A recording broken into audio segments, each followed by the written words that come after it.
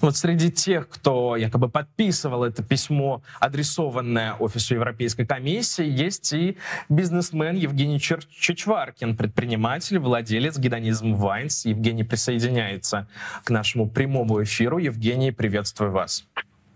Добрый день.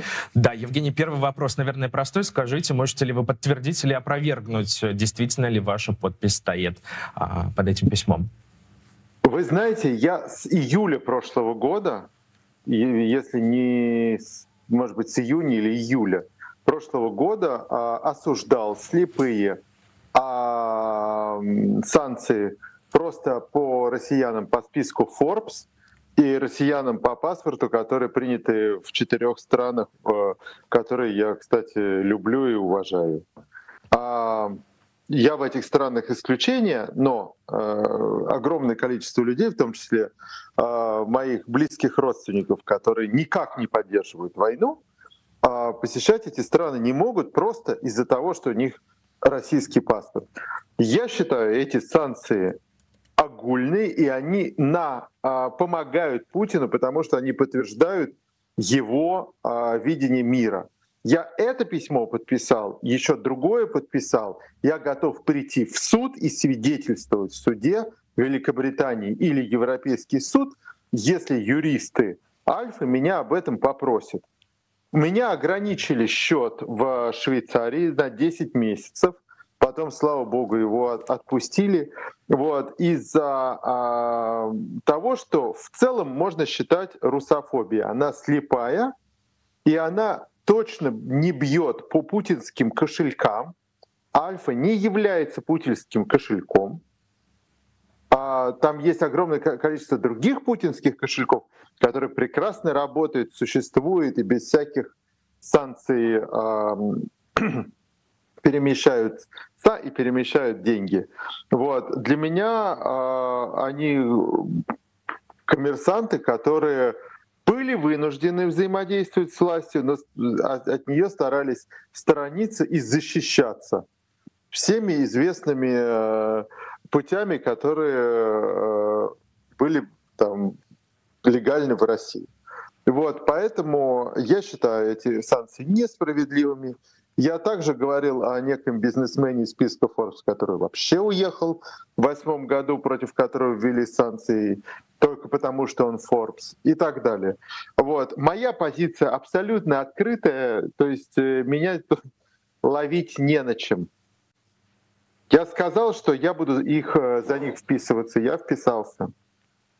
Евгений, то есть, если верить вашим словам, вы говорите, что а, Альфа-групп не был, банк не был компания кошельком Путина, а, и Нет. никак, да, и не связан он с поддержкой войны. Он был Э, большим жирным кошельком э, одной из самых сильных промышленно-финансовых групп России.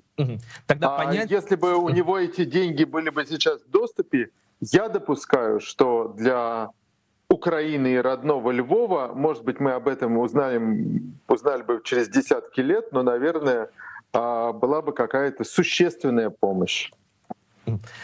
Да, я э, хотел спросить, тогда в этом случае понять, понятна ли вам позиция Леонида Волкова и его решение приостановить свою деятельность в публичной политике, если вы не считаете, что э, Фридман и Авин должны находиться под санкциями Европейского Союза?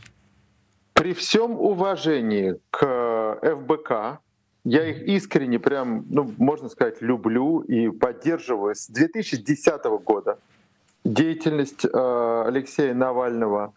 Э, я хорошо отношусь к многим его коллегам, э, приятельствую с ними. Вот. Я не могу каждый раз не критиковать их э, постоянно сквозящую левизну. Вот. И э, в санкционном списке, который они тогда выдали, там было почти все правильно, кроме некоторых бизнесменов, э, как, как, каких-то я не знал, там, вероятно, больше было ошибок, вот, но какие-то вызывали у меня абсолютно вопрос. Ну, человек платит налоги в России большие, но он должен платить налоги, потому что закон платить налоги. Эм, вот, и наверное, наверное, 5 тысяч из этих 6 тысяч э, э, я бы согласился, да, я просто многие фамилии не знаю. Но были там, я не помню уже кто, были люди, которые вызывали у меня там сомнения большие. Также вызывали сомнения а английский список 600 с чем-то там, ну, например, человек как Тынкован, э, это явная э, как бы точка, которая ставит под сомнение весь этот список, к сожалению. Вот. А дел, э, судить надо о людях по делам их. Зиганул, ты должен быть под санкциями, причем под жесткими, с заблокированием всех карточек, всех родственников и так далее. А участвуешь в государственных тендерах, программах, Э, участвуешь, сидишь там в думах или в синодах или в сенатах, да, безусловно, ты э, участник государства, которое террорист. Mm-hmm. Вот. А, они всегда были аполитичные, всегда подчеркнуто аполитичные. Более того, есть э, интервью, где Фридман говорит после смерти э, убийства Немцова, где э, из-за его политической позиции, к огромному сожалению, нам не удавалось часто общаться, так как мы не хотели, чтобы нас за это поимели. Вот я не знаю, что еще можно добавить. Евгений, скажите, пожалуйста, я не могу вас не спросить э, в этом случае, тогда вы сказали и про тендеры в том числе, считаете ли вы справедливым включение, например, Алексея Венедиктова и Ксении Собчак в санкционные списки, которые составляли соратники Алексея Навального? Если верить последнему расследованию, а, они получали тендеры государственные э, от э, мэрии Москвы.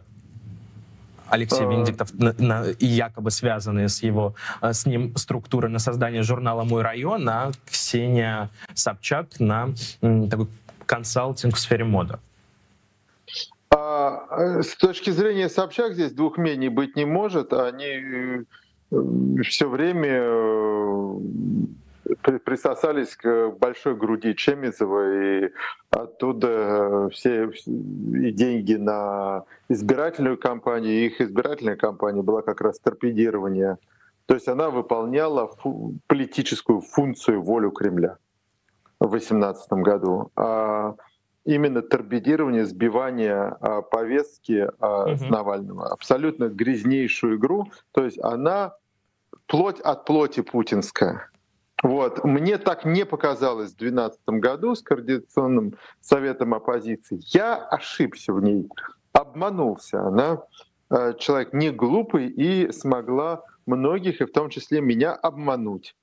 Вот. А в году 16 мы даже приятельствовали, она была а, в нашем доме. Я сделал ошибку, в 18 году все стало на свои места, я эту ошибку исправил. Что касается Венедиктова, дайте мне, у меня есть минуты три или четыре. Для чего? Вы нас хотите Для Венедиктова. Для Венедиктова. И мы можем вам, конечно, дать 3-4 минуты. Да. да. Вот смотрите, Венедиктов а, одна чаша весов.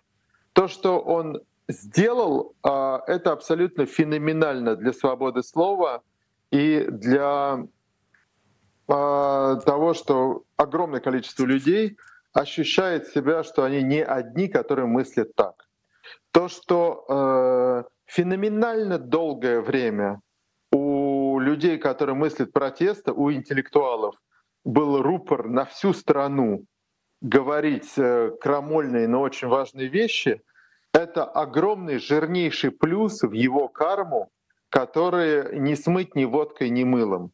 За это ему все должны сказать огромное просто спасибо и низкий просто поклон э, до земли. С другой стороны, абсолютно этот же самый человек, чтобы у него была эта возможность, а с электронным голосованием, который абсолютно фейк, и он врал, говоря, что это не доказано абсолютно.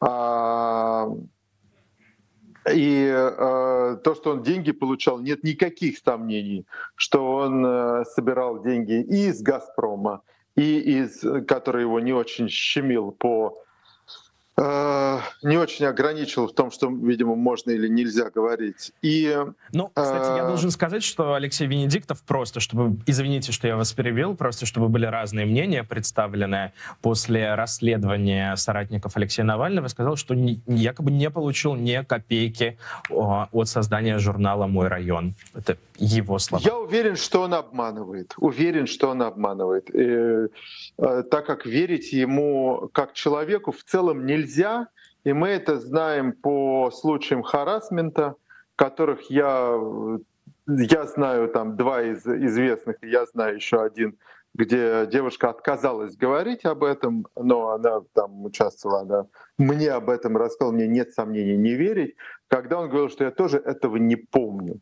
Вот, это, конечно, а, абсолютное лукавство, то есть верить на слово Венедиктову нельзя, но нужно отдать должное, что пока у него была лицензия, у него был феноменальный канал, через который можно было вместе со всякой чушью, Прохановым и прочей херней а, слышать и говорить правду. И э, да, он сделал ошибку, ему казалось, что он будет летать между двух струй еще долго, но в итоге с войной он сел между двух стульев, и оппозиция ему не доверяет, и он сделал достаточно, чтобы оппозиция ему не доверяла. С той стороны он все равно так или иначе э, человек, который пригрел вот этих э, змей, которым сейчас кого-то стреляют в спину на мосту, кому-то по 9 лет дают, а кого-то э, в розыск этот, объявляют и так далее. Вот. Он оказался между всем, ему, наверное, непросто, но а, теперь его гвоздь — это ровно такой же YouTube-канал, как, какой есть и у всех.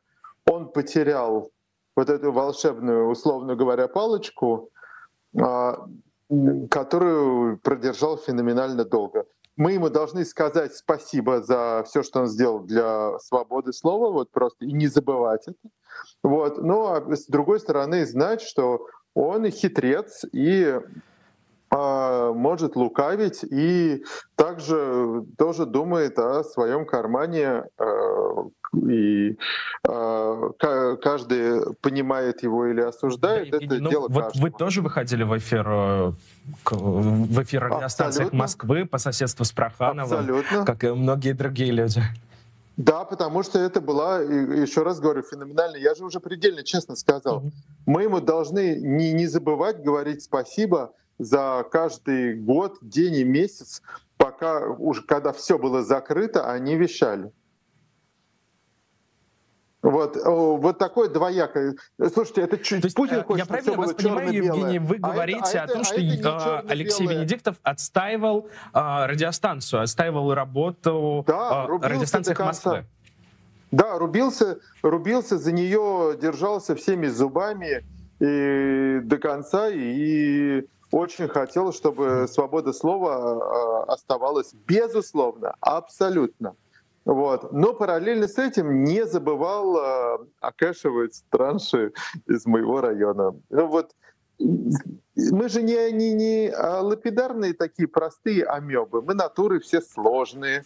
Э, он человек хорошо очень образован и э, умен да, а вот, э, мы, вот к нему нужно также относиться по-сложному. Вот и я, я просто хочу, чтобы все понимали, что на чашах весов есть и то, и это, и это. И то, что он сделал хорошего для свободы слова, это очень сложно перевесить ну, это можно перевесить, если он э, зиганет, конечно, совсем под старость, вот, тогда он испортит себе некролог. А так мы и так знали, что э, э, некролог у него на данный момент очень неровный.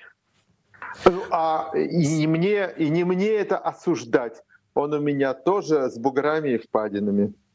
Спасибо, Евгений Чичваркин, предприниматель, владелец гедонизм Вайнс. Э, мы обязательно запросим интервью с Алексеем Венедиктовым, и чтобы а, звучали в нашем эфире еще раз запросим, мы уже это делали, и чтобы звучали разные позиции, я еще раз скажу, что после выхода расследования соратников Алексея Навального, Алексей Венедиктов, бывший главный редактор радиостанции «Эхо Москвы», заявил, я процитирую, «Я лично не заработал ни копейки на этом проекте, но считаю его отличной образовательной историей. Более того, если бы не мое иноагентство, сейчас бы уже как минимум в четырех других областях шел бы такой проект, написал Алексей Венедиктов.